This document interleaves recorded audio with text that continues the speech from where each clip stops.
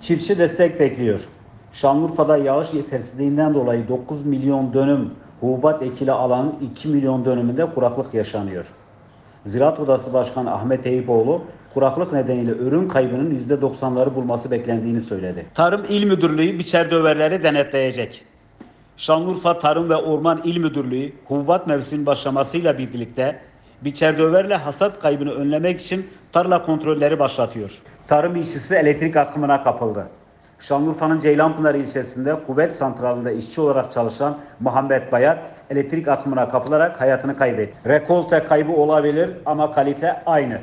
Güneydoğu Anadolu bölgesinin önemli tarım ürünlerinden olan ve yeşil altın olarak nitelendirilen fıstıkta bu sezon verimde düşüş olsa da kalite kaybı beklenmiyor. Akaryakıt fiyatlarına zam. 20 Mayıs Perşembe gününden itibaren geçerli olacak şekilde benzine 55, motorine 67, LPG'ye de 35 kuruş zam yapıldı. Savcı Akbulut görevden uzaklaştırıldı. Hakimler ve Savcılar Kurulu 2. Dairesi salgın tedbirlerini eleştirdiği videoyla gündem olan Viranşehir Savcısı Eyüp Akbulut'u geçici olarak görevden uzaklaştırdı.